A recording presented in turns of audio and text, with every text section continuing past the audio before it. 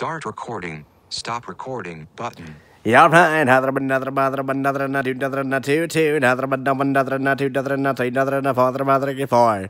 Eight four, another mother, mother, get four, point, point, another mother, get five, five, five, father, mother, get five dollar bill. Eight five, another mother, get five. Sold it, five dollars, one zero six. All right. Welcome to the online course of auctioneering. How to become a suc- successful auctioneer.